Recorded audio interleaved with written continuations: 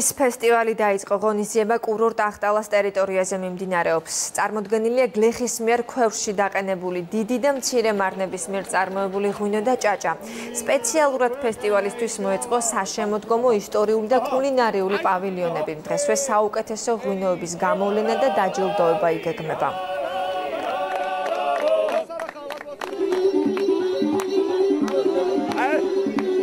თველის დასრულების შემდეგ ჩვენ აღნიშნავთ ხოლმე ღვინობის თვით, ეს არის დღესასწაულების წება, რომელიც სხვადასხვა მუნიციპალიტეტში იმართება, დღეს გურჯაანში იმართება ღვინის ზეიმი, ღვინის ფესტივალი უკვე მეორედ ყველა გურჯაანას მინდა მიულოცოთ თველის წარმატების დასრულება და ბუნებრივია საზეიმო განწყობაა მოსახლეობაში, იმიტომ რეკორდულად წარმატებული რთველი ჩატარდა ქვეყანაში. გურჯაანის ღვინის ფესტივალი უკვე მეორეჯერ ტარდება და ორივეჯერ ტურიზმის ეროვნული ადმინისტრაცია გახავთ ფესტივალის მხარდაჭერი.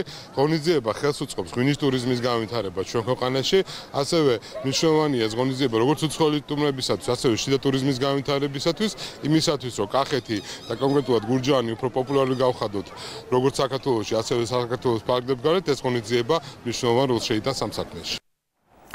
თბილისშიც მიმდინარეობს ღვინის ფესტივალი შარდენზე ღონისძიებების სოფლის მეურნეობის